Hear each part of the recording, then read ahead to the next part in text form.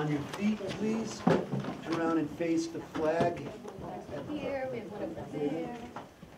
Let's, let's, let's face the door, okay? Place your right hand over your heart and repeat after me.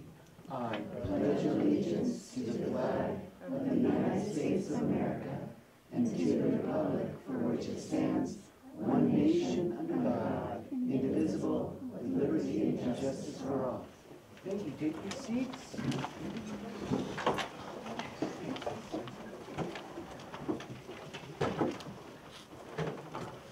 We're gonna review the minutes from our last meeting, which was Wednesday, January eighteenth. Board members, do you have any comments? No, I will uh, move to accept the Board of Trustees regular meeting minutes dated Wednesday, January eighteenth, twenty twenty-three. Second that? All in favor? Aye. Aye. Okay, we're gonna move on to the public comment portion of the meeting. Thank you all for joining us today. Uh, I'm certain many of you probably haven't been to one of these meetings. Um, we do run by Robert's rules and a number of, of other policies that tell us gonna- the meeting's going to go. You can choose to comment during this open public comment, and that would be a comment on virtually anything you wish to discuss. You can also comment during any agenda item. So if you have a comment specific to something that's on the agenda, you may wish to wait and use your comment at that time.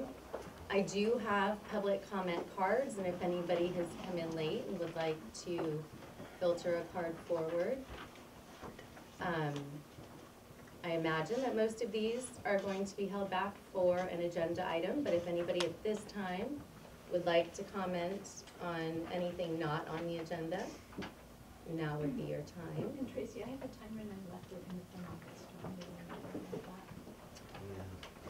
Yeah, Left that would be great, desk. yeah. Sorry. no worries. Okay.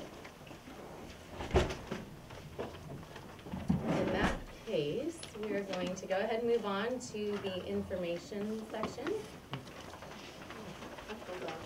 Uh, let me go ahead and review also, actually, before we jump into that, when we do get to public Can I- comment. Did you pass up on the public comments? I couldn't hear. Oh, yes, do you have a comment of something not on the agenda? I thought you were We gonna thought- call him yeah, off we the yellow thought you would sheet. call. Oh, okay, certainly, yes, let's see.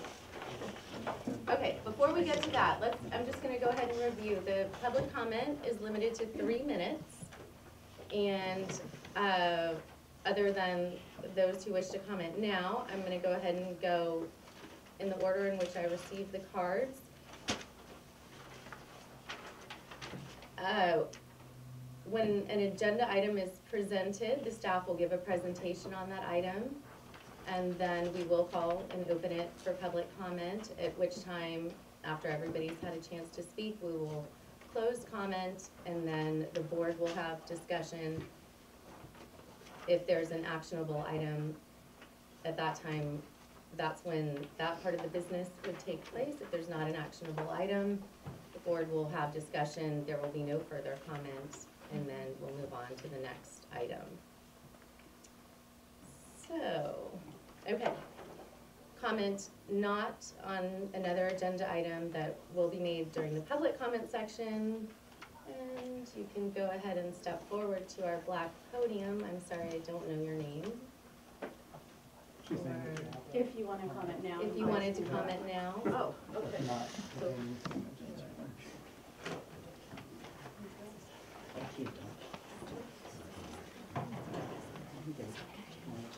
Hello, my name is Christine Urban, and I raised five sons here in the valley, and now I have seven grandkids. Two of them attend this school, and uh, there's more to come, so I feel like I have a place here. And I have sat where you sat for five years at a local school, and it isn't easy. And it's hard when you sit here alone and there's not a soul out here for most of the time. And then all of a sudden, you've got a big group of people, but it's actually a healthy thing because they trust you, and that's why people are usually not here, is the way I always took it. Um, you know, and they're just letting you know when people are interested that there's something they want to redirect or let you know. So I'm just, it's a, a voice of support for you there. My non-agenda item is that it's grandparents, a situation. So I've been asking since the beginning of the school year to be allowed in the classroom. I have so many hours of classroom um, time with all my kids growing up and board and been on um, other, uh, just fundraising boards, everything. But I guess there was a decision earlier in the year to not allow grandparents in the classroom. And my grandkids, both their parents are uh, work in the health field and in the first responder field, and it's very hard for them to ever have scheduled time in the classroom, and I'd just like to fill in for that gap. I think it's really important that parents kind of, and grandparents have a window into where their kids are situated in the classroom. It helps them to know, um, you know, what's going on in the classroom as far as, you know, I know my grandkids are struggling a little bit.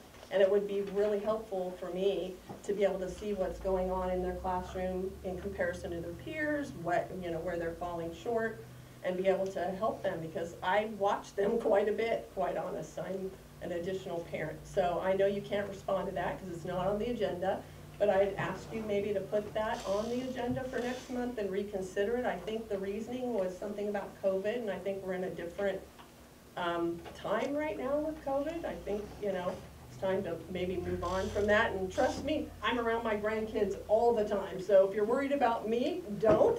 And, uh, my kids are bringing in whatever I have to you guys already, so that's my, my un- non-agenda comment. Thank you. Thank you. Pay no attention. Was there one other, sir?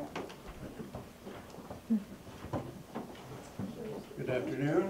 Uh, Thank you for the time. Uh, I want to address an incident in the fourth grade class uh, that I'm receiving from parents who, students who are in the fourth grade class.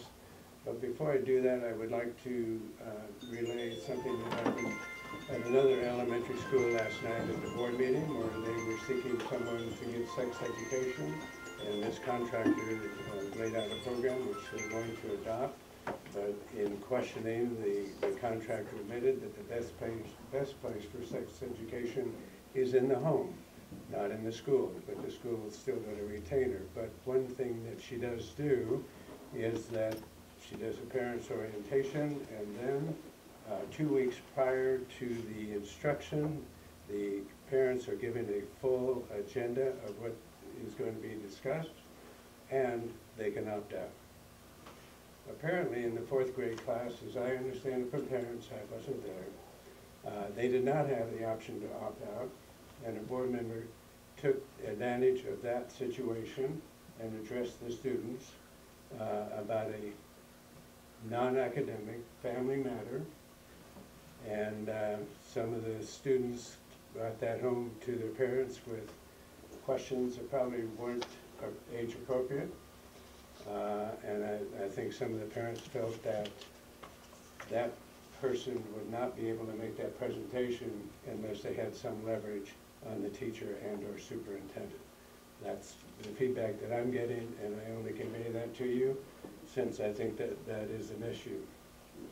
Um, I think suggestions for going forward, one, the school ought to adopt, I can't find it on the website, you may have it, but a parents' rights policy, which is being adopted, you know, in many different school districts. Um, There should be a focus more on um, academics versus social engineering. And three, if the information I have received is correct, then I think it's incumbent upon the board to educate the board member involved that this type of action should not take place in the classroom. Uh, Many of the parents felt that the board member was taking advantage of it. And as a board member, and I've been a board member on several boards, the responsibility is to the community at large, not to your own personal uh, goals. Thank you very much.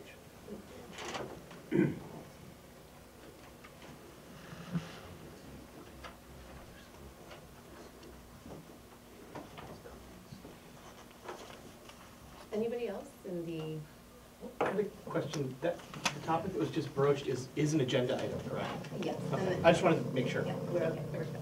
Okay. We are going to move on to the information section. Pam, let us Um, know our yep, calendar. on- On the calendar there, I listed just some things that are going on. Our sixth graders are currently at Camp Peak, um, which is awesome. The, and today's board meeting. Uh, tomorrow, we will have a regular dismissal day, and on Friday, we have a minimum day, which is a twelve o'clock dismissal. Midwinter break from the twentieth to the twenty-fourth. Um, a couple of days there where I'm off campus at a meeting. On Friday, March third, when we come back from break, we'll be having the Michael Cat storytelling assemblies for all grades. Also on the third is our barn bash. Um, and then our fifth graders will be going to Astor Camp from Friday the tenth through Saturday the eleventh. A couple more superintendent meetings, and then that brings us to the next board meeting on March fifteenth. Is there any board member comments or correspondence that you'd like to share? PTA report? Yep, well, this is gonna be a shorter one than normal because our focus has been solely really on the barn bash at this moment. That's obviously our big fundraiser. We're really excited. Um, we've sold forty-one tickets so far, so we definitely have a ways to go, but I know that a lot of people tend to buy them last minute, so we sent flyers home with the kids yesterday. Um, a table will be set up, um, soon for parents if they wanna just buy tickets, um, on campus, which is great however we can make it easy. But yeah, we're really excited about that. Um, the other thing we did, um, we're doing teacher appreciation. So we had the fourth and second graders, um, no, sorry, the fifth and the first graders um, did it in February, and our next one will be in um, April, and that's going to be led by the fourth and second grade families, and they're getting together and trying to make sure the staff knows, you know, how much they're appreciated. So that's, that's it. After the barn bash, then we're gonna start focusing on all the other fun kid-related events that will be coming up. So I'll fill you in more of those in March. For all those in the room, since we have an audience, does anybody want to give one shameless plug as to what the Barn Bash is, or what the date is, or where one might buy a ticket? Yeah? Uh, The barn bash is March third, and It's it's at- at the Maverick. And um, tickets are on sale on the PTA website now. You can buy them online, but we are gonna have, I think, the fifth graders, they're our excellent sales force, is going to be um, putting out a table for parents to buy tickets here on school campus this week, um, before we go on break, and then probably the week after, I don't know if a different grade will do it, but, um, so we're trying to sell tickets. But it is our annual fundraiser. Um, this, well, this is the alternate to the Jamboree, so the Barn Bash is what happens every other year, but it is our primary fundraiser to support arts education, music education, field trips, all of the incredible things, PE, the incredible things that our PTA does for our classroom kids. Awesome, please come. It will be fun. Okay, we're gonna move on to the superintendent's report. Pam, Yes, so, um, I'm gonna discuss briefly the student privacy matter, but before that, I just, I'm gonna skip down just real quick, because I think we have some people who wanna speak about that. Um, the schools for fi- sound finance reports, does anybody have any questions about those? The governor has released their budget, we can talk more about that later, but there are some interesting things coming down the pipe. Um, and those, uh, schools for sound finance reports sort of delineate out from a small school's perspective what might impact us more heavily. So, um, if you read through those, we can talk about that later, but we can, I don't know if you had any questions about that. Um, it has not, it, governor releases budget, it goes back to all the committees, and then it will come back, so I don't have a lot of information at this time, it's just some pieces coming down our way. So, Back to the student privacy matter, um, we recently had a situation that has brought up some discussion as to how the school handled, um, a student privacy matter. The school handled the situation as best I could in accordance with the, um, with the Students' Right to Privacy Act and the California anti-discrimination laws.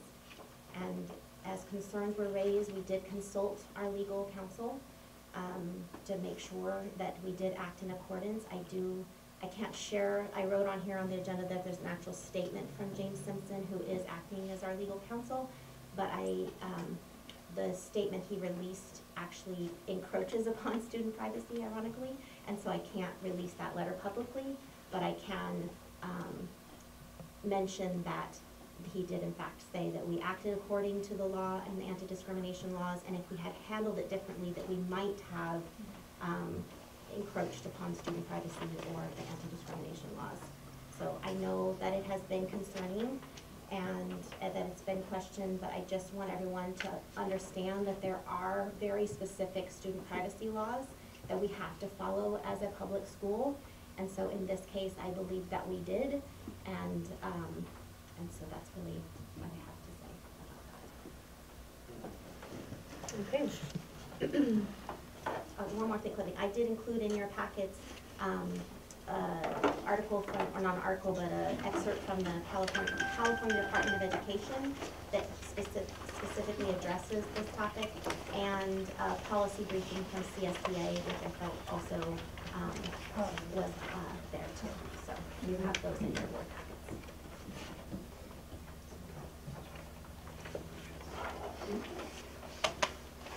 Okay. Again, we're gonna go with three minutes. Gina has a timer. And basically in the order the cards were received. Kaylin?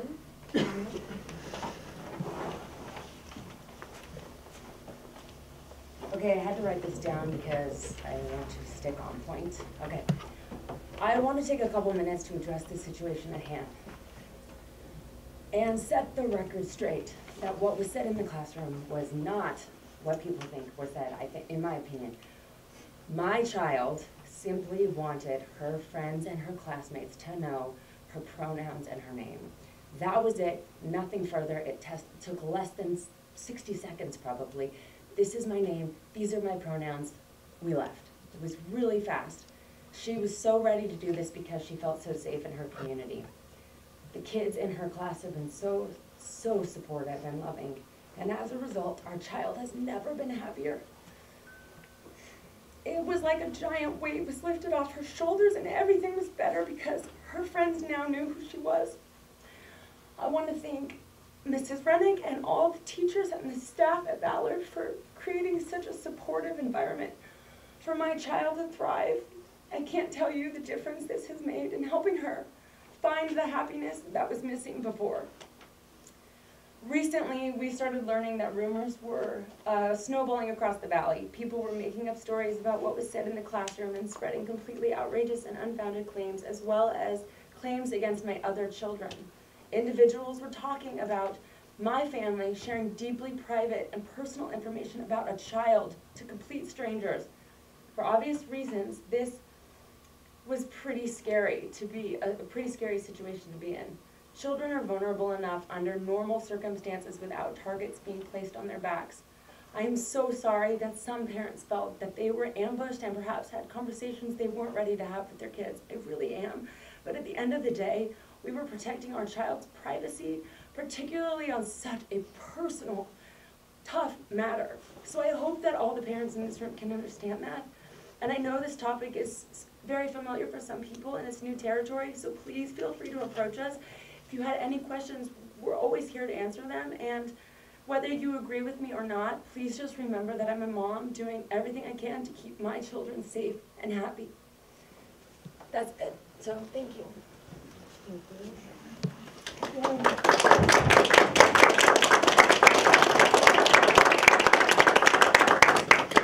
Uh, Evie Sweeney? Ready to go? Quick. Um, I'm Evie, and I have, it's okay, I have a kid in second grade. Um, and I also heard about this through my hairdresser, who has no kids here, which I found ironic. And I guess, um, I was so disheartened because, um, well, first of all, legally, we are in a public school system. It is not a private school system. But also, Secondly, this is, to me, as a parent, not about social engineering as much as it is person and personhood. Um, so that, to me, differentiates that topic. And my third um, statement is that you're like, true. I- I believe that most of the parenting should be done at home. And that includes having conversations about this topic. And if you're not having conversations about this topic, then you are the one that's behind. And so it should not fall on the child, the parents, who are already doing their best to get through the situation, the principal, who is doing the same thing as well, and the teachers. I feel like it's, it's unfairly um, being misdirected.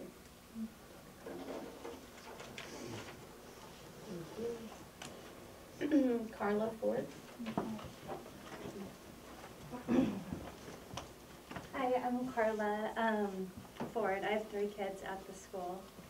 And I didn't really prepare anything. I just wanted to stand up if anybody said anything that I disagreed with. So far, I've agreed with these lovely ladies. Um, I do want to thank Pam Rennick for being our fearless leader and for protecting our students and being so wonderful. I want to thank the Conroys for everything they've done for our school and how much time they've put into our school and their lovely three children.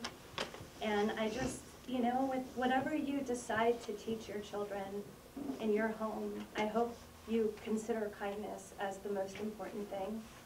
And I hope that that can really be what we can all agree on. And I hope that your kids are seeing you at home being kind and speaking kindly about other children and other families. That's all. Thank you.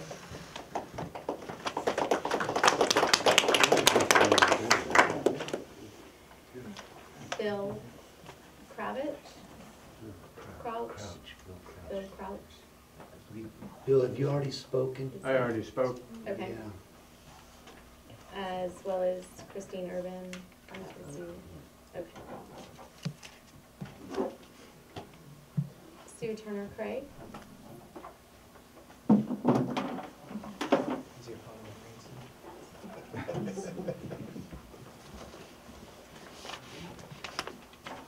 Hello.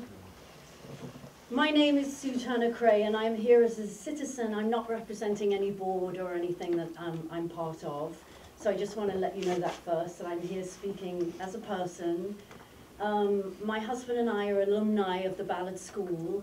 Our son um, now is in high school and we had a, a pretty good time at the Ballard School for the most part. He was here from K through six. Um, in the past, many of the people around the community have sort of referred to this school as so great it's like a private school. But it's not. It is a public school. And as we all know, public schools must follow the laws pertaining to the state. Um, I would like to say to Pam, thank you for, I've, I've been in communication with some people that have talked to a, lo- a lot of the uh, Ballard community members. My husband and I still live in the Ballard School District, so we still pay taxes for the school. And I would like to commend you on how you responded to this situation. I'd also like to say that our son had the privilege to share the classroom with Alice, a transgender child, and it was a wonderful opportunity for education at the Ballard School of inclusion and um, understanding um, someone who is different to yourself. And so um, I want to reach out to those parents that perhaps, you know, are now uh, finding themselves in these uh, conversations with their children to let you know that, you know, as a public school, the school were defending the privacy rights of Olivia, who I've happened to know since kindergarten and used to live across the road from Olivia.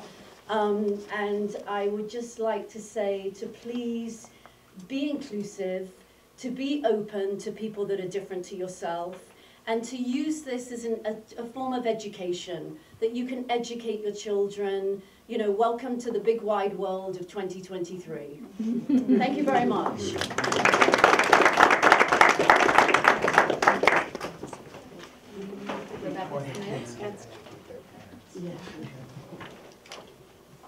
Rebecca Smith?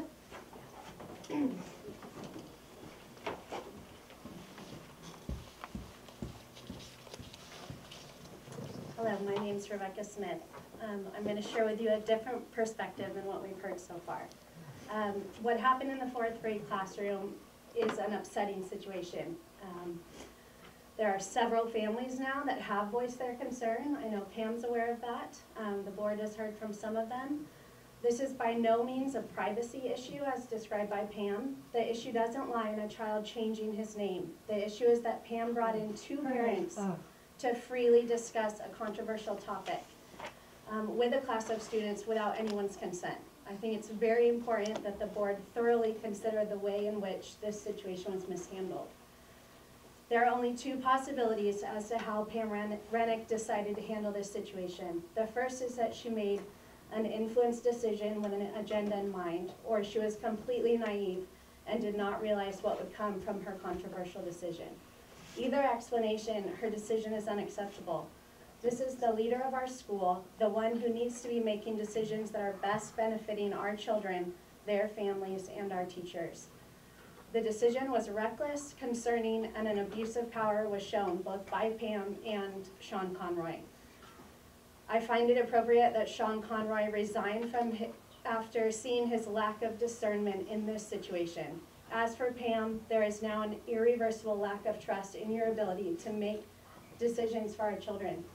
You broke trust between yourself and a teacher who gave you warning that this was inappropriate. That teacher was put in an awful position, one she never should have been put in. Our teachers need to be listened to when they voice concern. And in this case, Mrs. Young was completely disregarded. With that said, I'm proposing that our school create a parents' rights policy. I'm asking that the policy be put on the March agenda as an action item. The Orange County Board of Education two weeks ago unanimously voted in a parents' rights policy, and I strongly believe it's what we need here at Ballard. I have provided copies of this policy for you to look over. I am asking for complete transparency to be put in place in our classrooms. Parents need to be notified anytime an outside person is brought into our classroom, whether it be someone discussing or teaching on a specific topic, or a counselor or therapist coming in to speak with the class or students individually. We need to be notified. If you can't send an email about what's being taught to our children, then you absolutely should not be discussing it with them. This topic discussed in the fourth grade may not have bothered some people, but the next topic allowed in the classroom might. This policy needs to be put in place as an across-the-board rule. The policy will eliminate situations like this from ever happening again. We cannot rely on one person's judgment and discretion. We as families deserve the right to speak to our kids at home on difficult subjects on our own time and with our own, and view, own views and opinions first. We deserve the right to pull our child from conversations we deem inappropriate. Thank you. Thank Kyle Cavalli. Um, let me just start with she, her, she, her, she, her. I think if we are going to be referring to this student in any way, we need to respect, um, who they are. So, um, her name's Olivia, and she goes by she, her. Um, I first of all want to thank the school board and the principal. We might not know each other personally, but I understand that you all have been very supportive in this situation. So gratitude to you. Um, and thank you for showing Olivia and her family um, probably what a true community could really look like. Um, the opportunity that the class shared when Olivia came out should be considered a privilege to have been witnessed. It is a reveal of something so personal and emotional that I only wish the individuals involved could realize the magnitude. Olivia could have come to school as herself, not sharing who she is, but instead created the opportunity to share in the moment. If I would have seen someone who looked like me, we probably could have struggled through life and this world together. I wish I was as brave as she has been when I was her age. To live in my authentic self would have changed the course of my life. She could and should be revered as a soul that is beyond break. Thank you guys so much.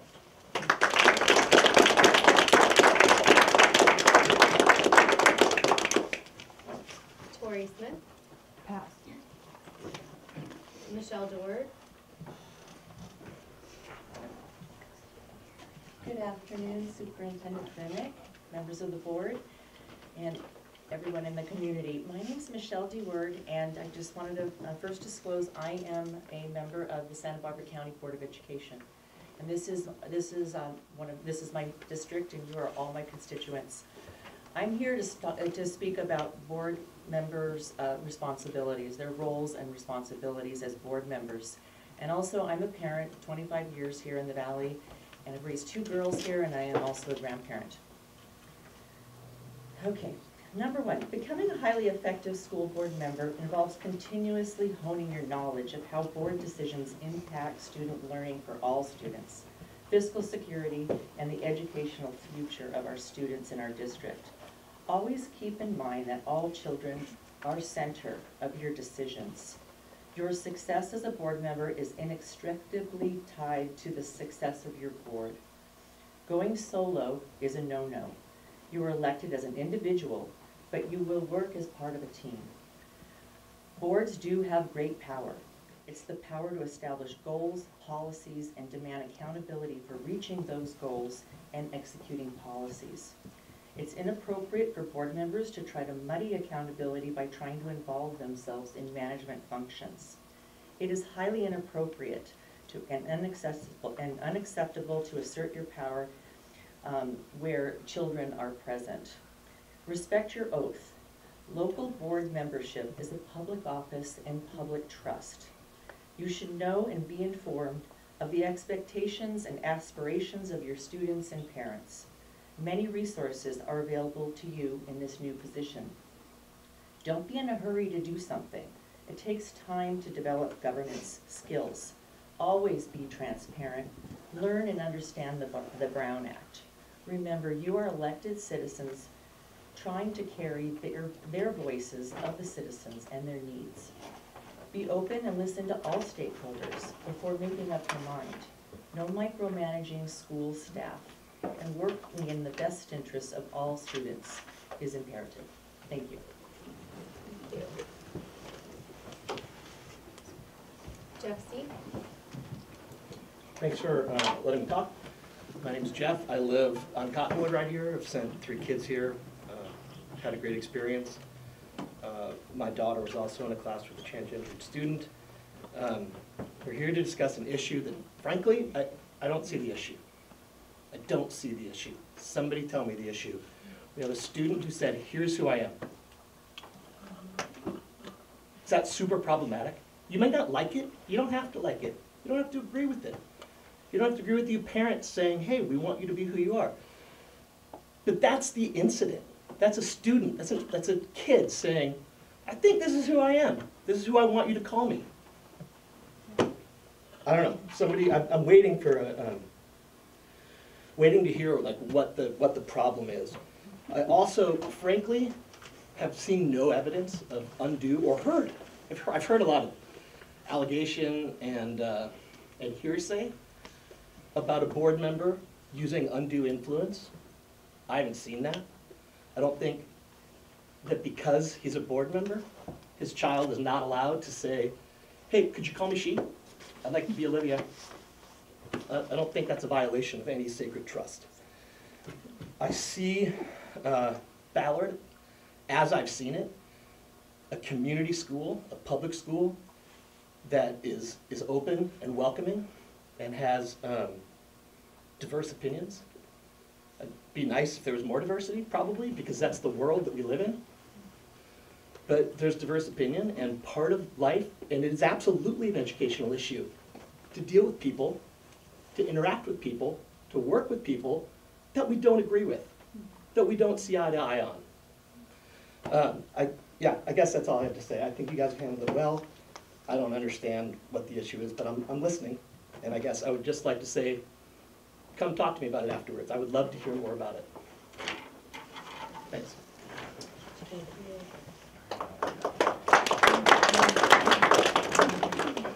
Karen Lehman?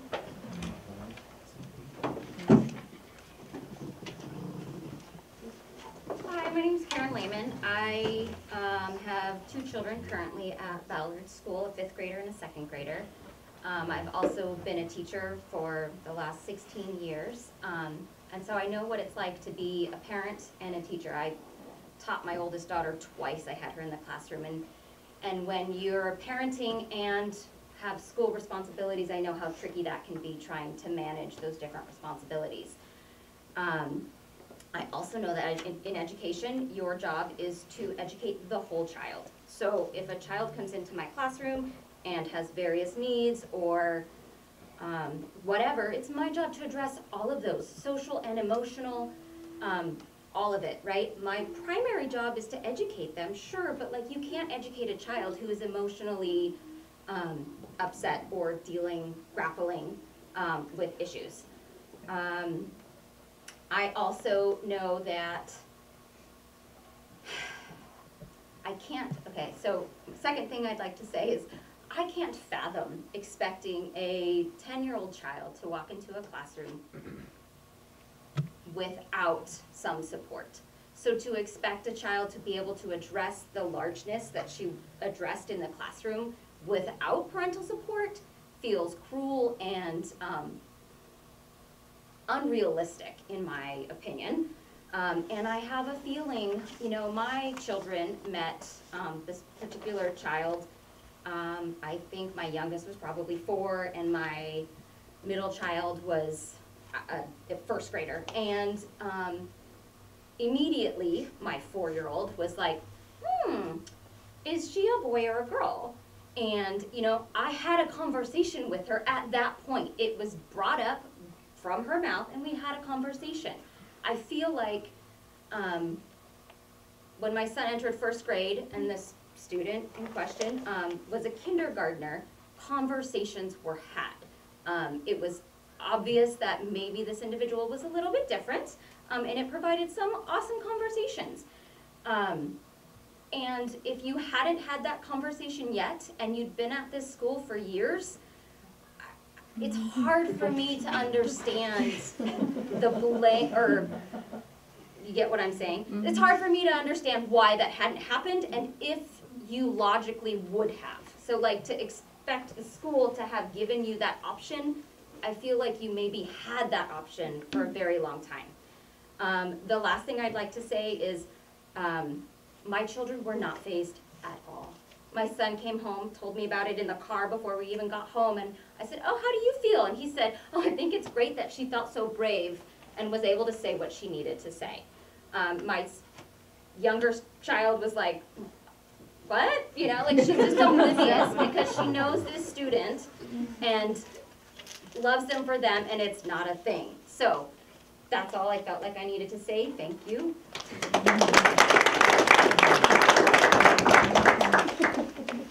Kathleen C. I'm a mom. I live down the street. I had three daughters come up through Ballard, and um, uh, I also had a daughter with a transgender kid in her class, and um, I I was in a staff meeting this morning. I work at a church in Santa Barbara, and one of the staff people said, "Oh, we should sing this song."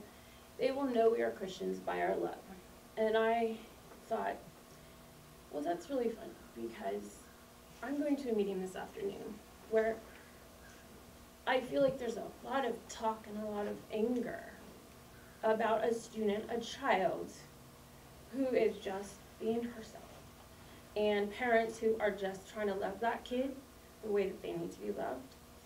And I thought it was very ironic as a Christian that I would need to say, I am so sorry for my fellow Christians that are not willing to love a 10-year-old the way that they're asking to be loved and who criticize the parents for making the best decisions that they can in their child's life.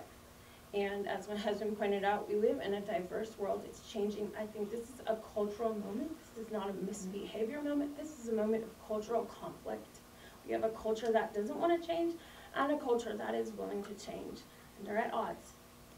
I think God is overarching this whole thing. God doesn't change. God has created, created us each the way that He wants us to be and loves us.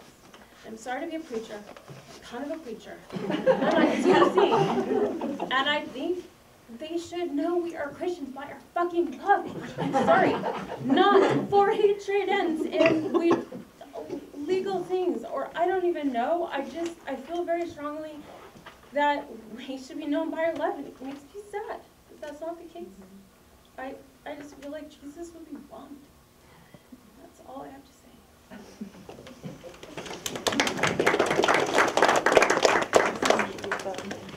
Fiona?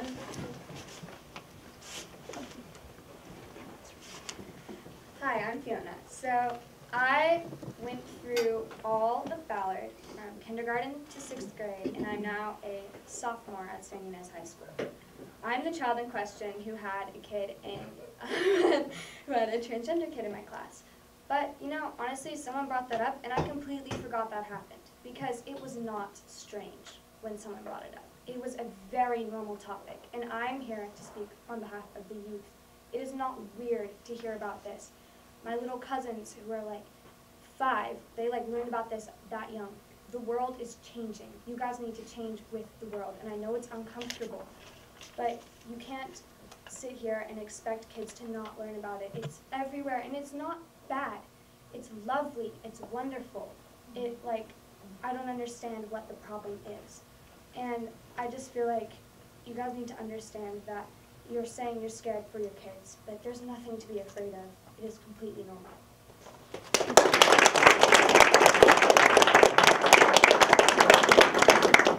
Thank you, Fiona. Okay, that will conclude Can the, I, can I speak again? I actually did mine for both, but I did mine for an agenda item and a non-agenda item. no, we had a three-minute limit on each comment. Per person. Per person. I see, okay. We're gonna go ahead and close the public comment portion of that, um, and open it up to any board discussion. Gentlemen.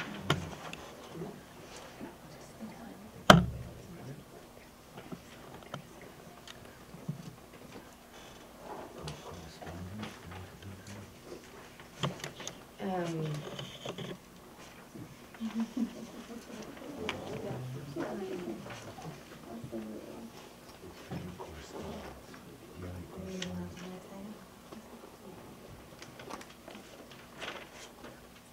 Yes.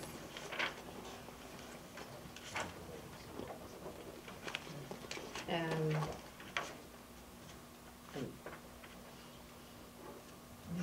I just wanna say, before we move on, that I, I am proud of our school and our staff for abiding by the laws that protect the rights of children.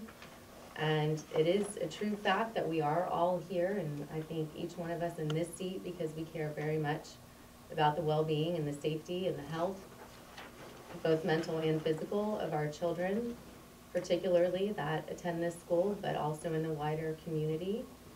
And I think that laws such as the Student Privacy Act were put in place for very good reason. And I'm quite pleased with the way our school handled this situation.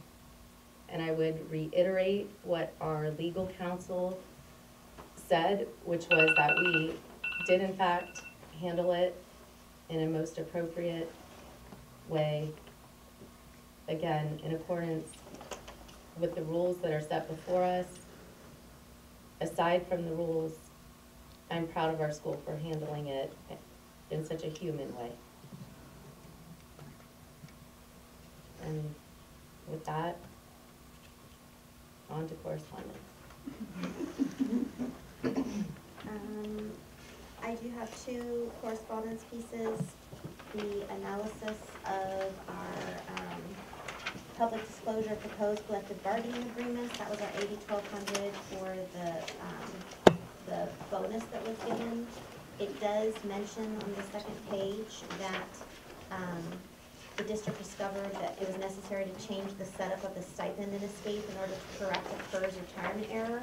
So this changed the overall cost, it reduced the cost of the benefits for the unrepresented disclosure by seven hundred and sixty-one dollars to eight hundred and seven dollars. So that just has to be disclosed to you, you don't have to a- approve it. I'm just letting you know that it, we did have to have a, make a, an amendment to the AB twelve hundred, but they did approve it as it was. They just mentioned that we had to make a, um, a change there.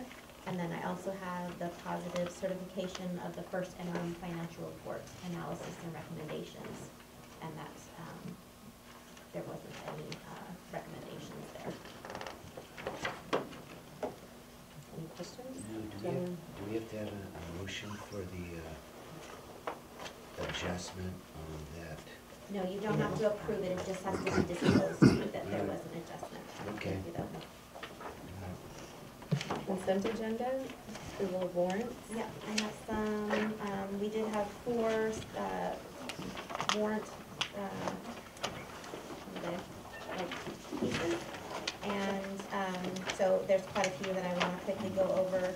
We did give five hundred forty dollars to Astor Camp as the deposit for science camp, but, uh, the parents will be paying for camp and be getting it through PTA, and the PTA will reimburse us. Um, the six hundred dollars was to the violinist for the violinist concert that we had, but we also got a grant for that, um, musical concert, so that will also be reimbursed.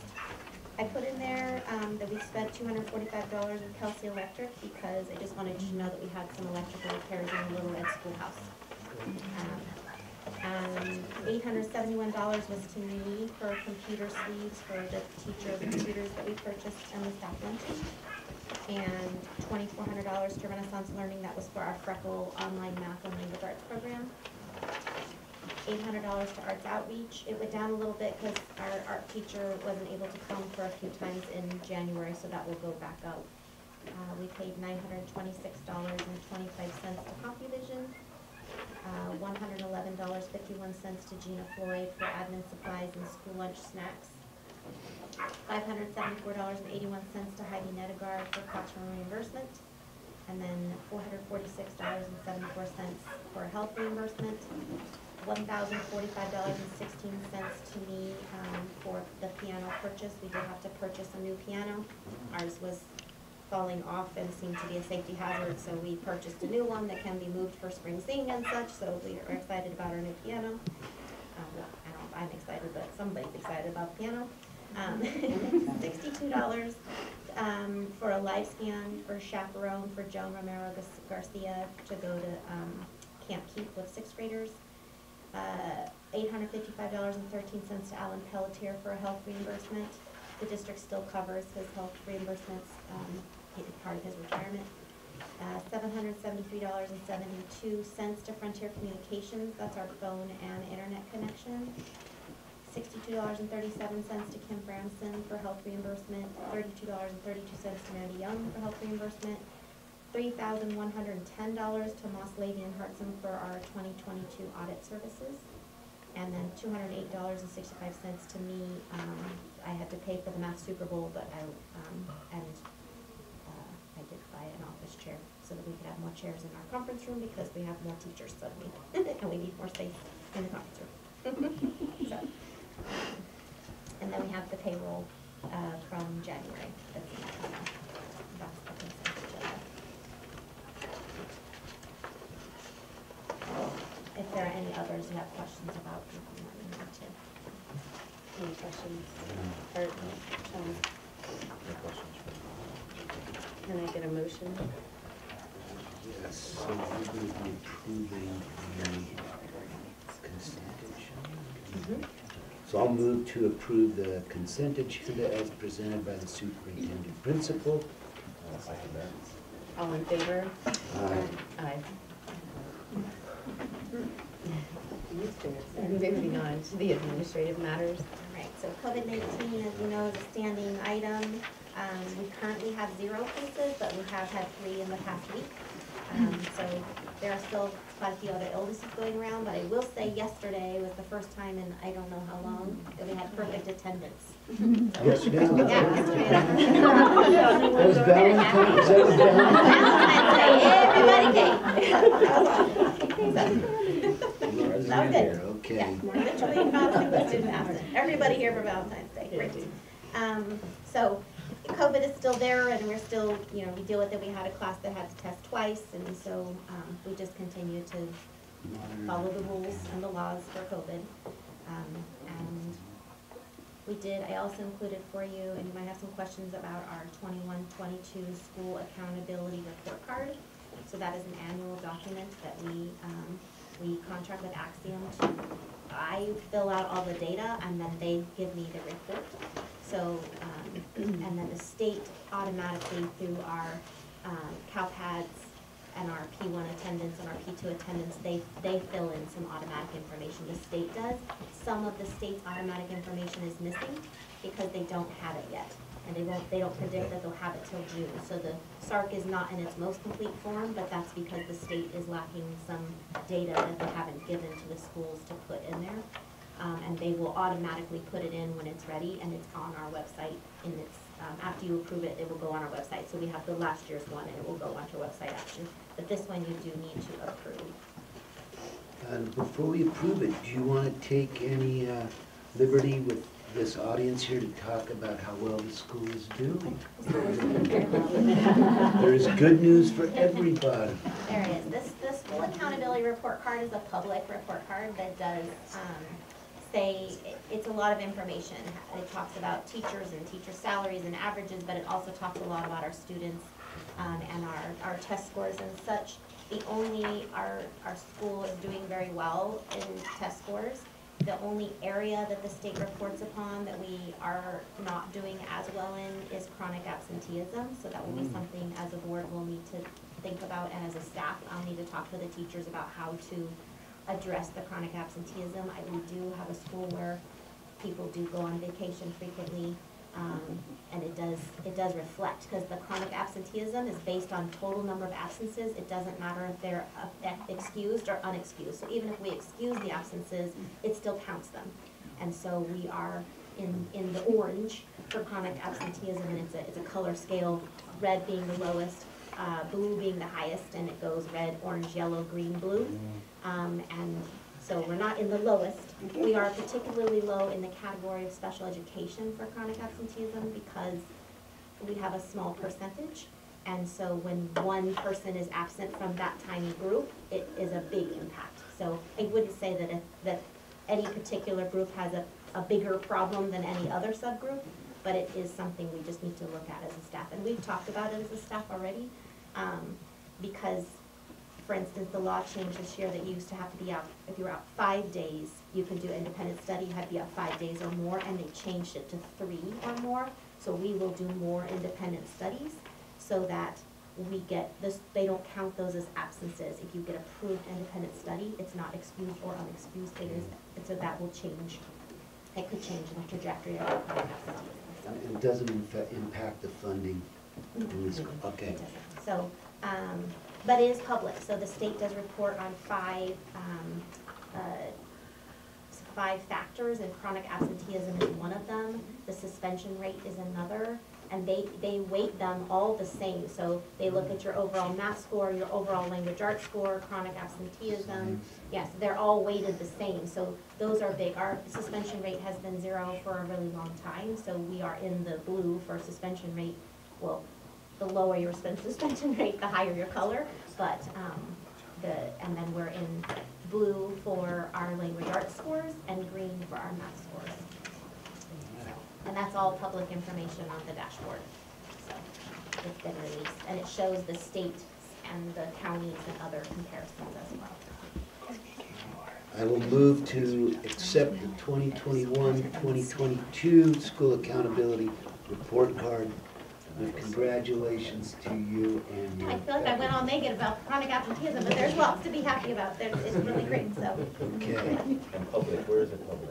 It's public on the, uh, yeah, on CDE, you can write SARC, and, but our SARC will be posted on our website, but you can look up any school's SARC report. It, they're all, every school is mandated to have one, so. Okay. I will second that. All in favor? Aye. Aye. But our test scores and those other indicators from the state are all what's called the dashboard. Yeah, so. And I will also say one other thing about the dashboard. It, this year is a little bit funky because we have not had data to compare, and so it, it reports on two different elements. It reports on your current status and your growth over time.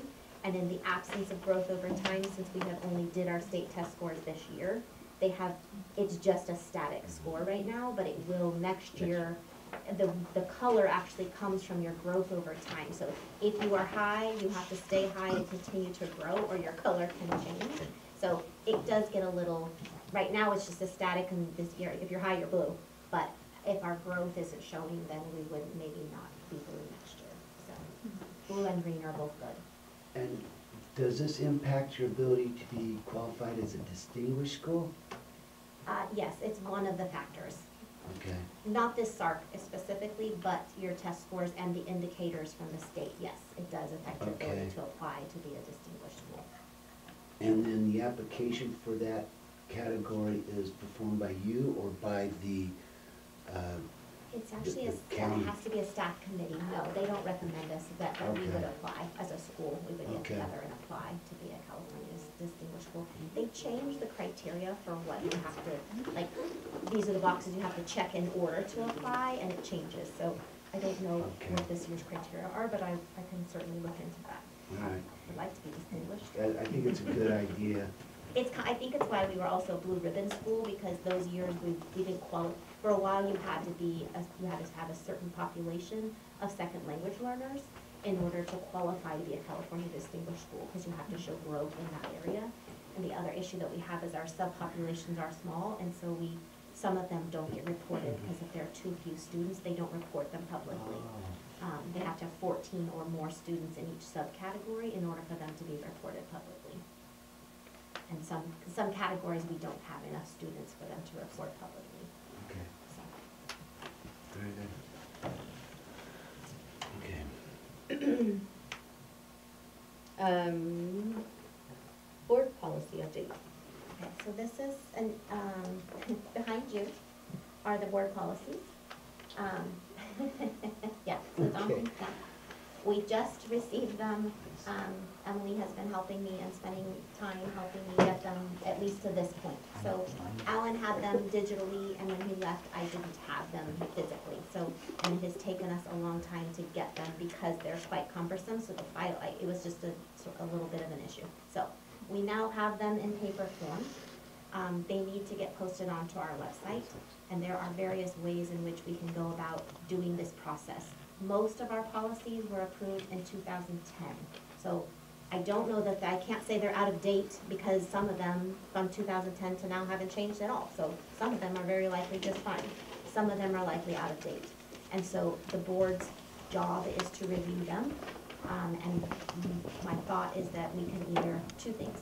We can pay a company to come in and do them all, and they would stay for three days, and I would stay with them for three days, and we would, they would run them through their software, and it would cost us roughly twelve thousand dollars to do that process. Um, but, and then we would still have to periodically, you all would have to approve them all and read through them all, and I don't know, I think that's a really daunting task. Um, but then we could still bring them and approve them in chunks. But I also have, we have employed, um, Emily Pokolsky, who has a background in human resources and being a- an administrative assistant that has done this for other schools that she has been at. So she can help us with this process. It will take longer, um, and it would take a lot of her time, but I think we could move through it a little more, um, succinctly. There are some that are sort of hot topics, like we did very recently update our, in, our transfer policy, for example, from last year. So that one's up to speed and ready to go, but then I could give you maybe fifteen in a board meeting, and, Yeah. and tag these five and say, we're gonna approve these five so they have a new date on, no change. And these three you need to really look at, cause there's time, there's changes. So, but it, it takes a lot of personnel time to try to go through that process. So it's something we need to do.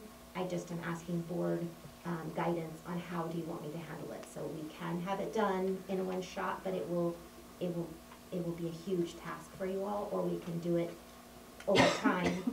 Like I said, a lot of the policies, I can, we can contract with, um, a company through Gamut that will, um, if we just add a pers- a subscription, and I, he, I sent the email, haven't got back yet, how much that costs, but they will host them on the website for us. It will just be a link on our website, and it will just go to our policies on their hosting website. Um, so that we can do sooner, but, um, the updating policies is gonna take some while. The Gamut posting, does that, um, does that account do, they don't do anything automatically, they don't, like the monthly updates that They come s- down from, They don't do it automatically. They send us a, they send like a report quarterly, and it tells us like which are the ones that have changed, and it tell, it does give you the exact language that, according to the law, these are the exact changes that can be made. So, yes, that helps a little bit, so it's not, we're not making it up. It's, it's automatic from the laws, the policies will reflect the laws that are in place. Um, we just have to get them updated so that they do reflect the current law. and is Emily very excited about this? Um, It's a Um, huge task, and that, that's the other thing that I What would be up. your, your prediction time-wise? Well, here's the real issue, is that I don't, currently Emily is our office aide, or, our- yeah, our office aide, and gets paid a, a certain wage.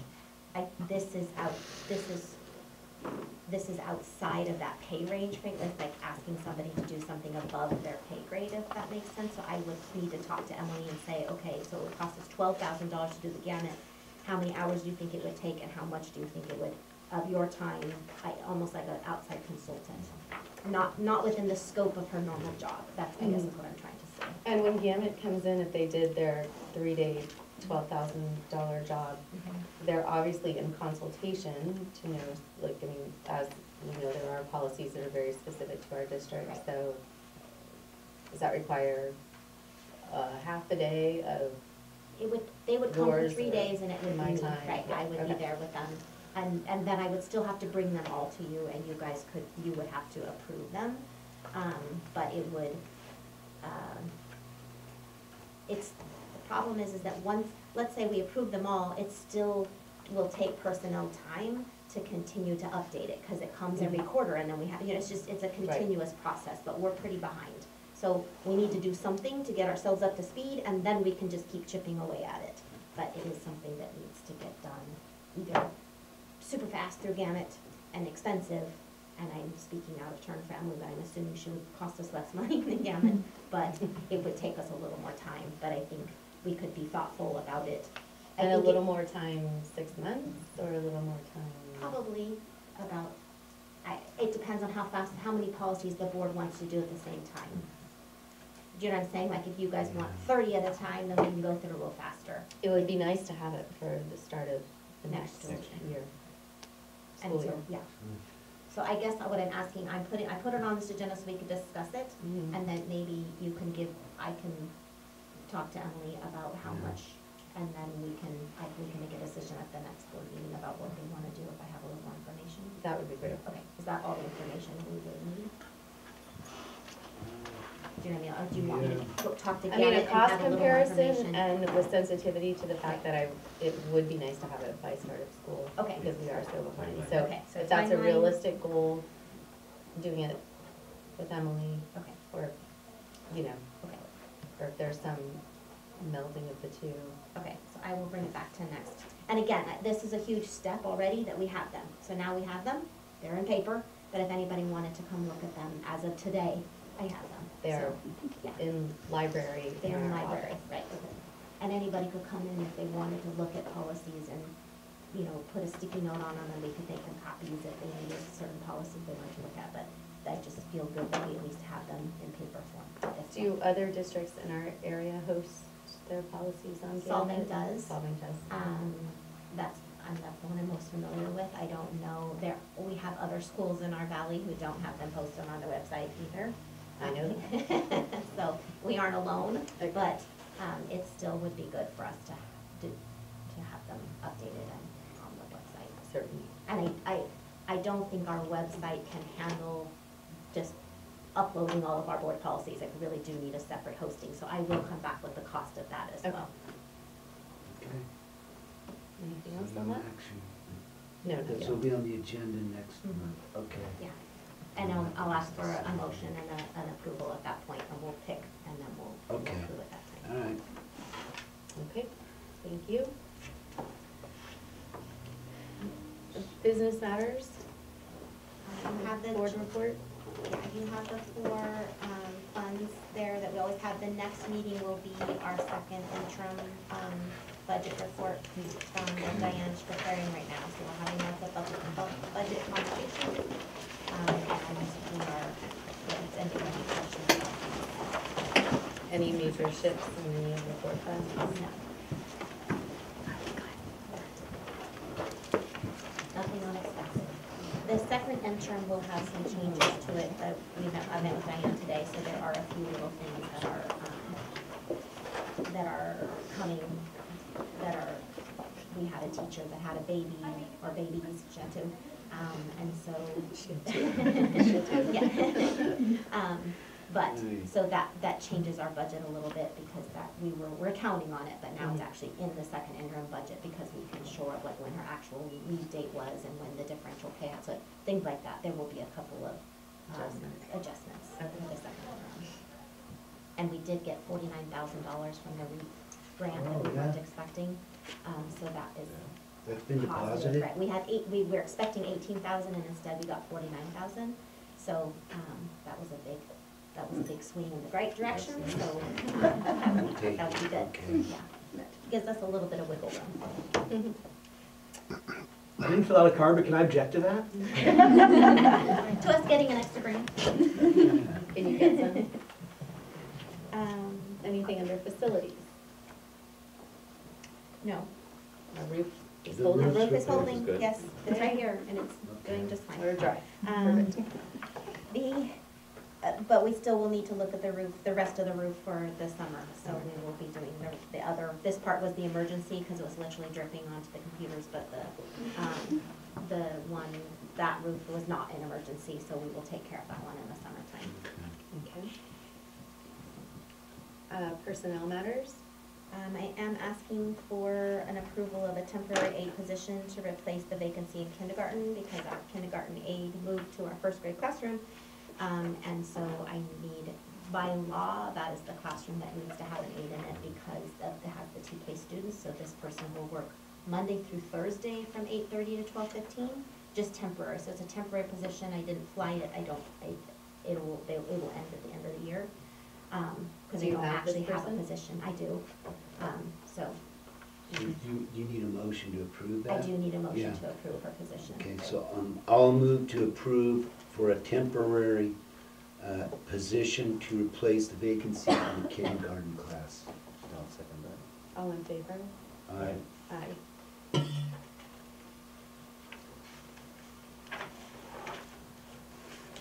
Student matters, anything? I think all students matter, I'm reminded of it every day. Next regular board meeting is on Wednesday, March fifteenth, three thirty. Same place. Gentlemen, anything else? Uh, I do believe we will- are gonna need to have a board policy parents' rights on the agenda for the next meeting, as it was requested from the attendee. We'll need to honor that. Mhm. The, uh, Pam reminds us the deadline to get on the agenda? Is ten days prior, so, um, but I think this might count as the request to put it on. so Certainly, then- certainly. then- I didn't know so if I think- anybody else yeah. wanted to know. So I think we can just, um, use this information. I don't know where it would go on the agenda, but I, it'd probably be an administrative matter, um, Okay. item, so, but it will be, it can be on the agenda. Okay. we can, is, Is, is there any direction you want me to take before I put it on the agenda, like information you would need to make an informed decision? I would like to know if somewhere in those nine thousand pages. Is there any The board address of policy that this? relates to this, okay. Yes. Yeah, Yeah. it has the numbers, so it's, it's easy to reference ours in Okay. comparison. That's what I Um, would like to know. What about legal counsel? Um, Um, not yet. Okay. I, I, I'd rather not. Okay. I think it's a good idea to just look at this on the agenda and debate how it would fit into that stack there. Without legal counsel. Okay. Eventually, yes, but. Okay. uh, also if there's any other precedents in the valley. Yeah, that's a good idea. Yeah, I wonder if there And with that, we will adjourn, is. Thank you. four forty-one. Thank you for attending, everyone. I know.